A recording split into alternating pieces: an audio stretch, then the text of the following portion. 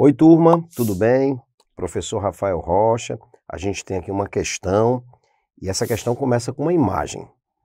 Vamos analisar essa imagem?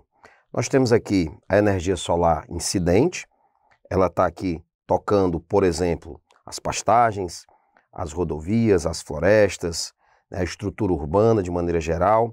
A gente vê aqui a questão da energia solar refletida, a gente vê também aqui a presença de um satélite, né?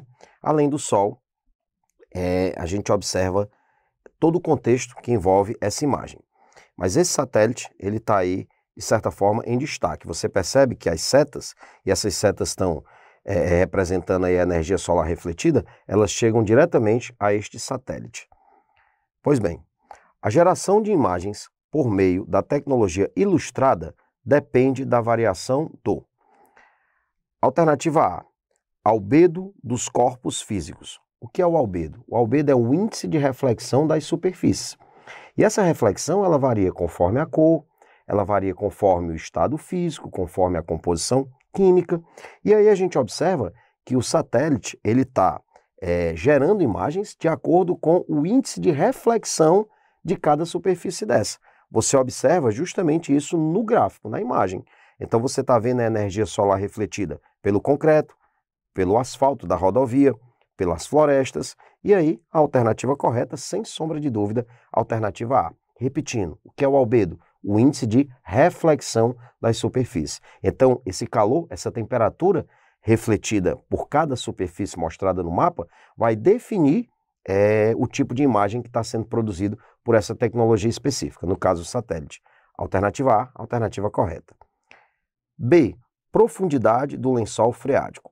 Não é um mapa que mostre profundidade, uma imagem que esteja relacionando qualquer tipo de profundidade, não tem esse suporte dado aqui, apesar que a gente tem um rio, um rio não significa um lençol freático. E não há a conexão direta com a imagem de satélite. C.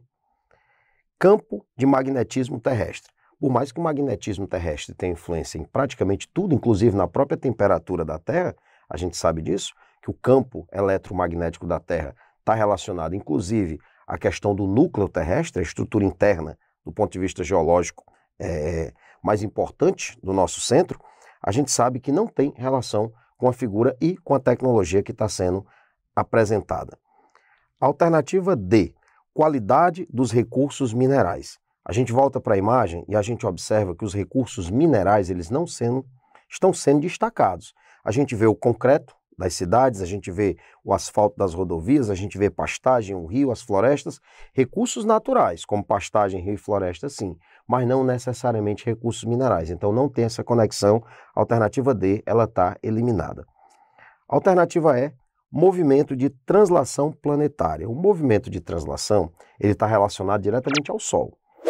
A Terra executa mais de 10 movimentos. Os mais conhecidos são a rotação em torno do seu eixo e a translação em torno do Sol. Porém, o movimento de translação, apesar do Sol estar em destaque aqui na imagem, não é a referência para a tecnologia que está aqui produzindo essas imagens, e sim o calor produzido a partir do albedo, do índice de reflexão dessa superfície. Alternativa correta, mais uma vez, confirmada, alternativa A.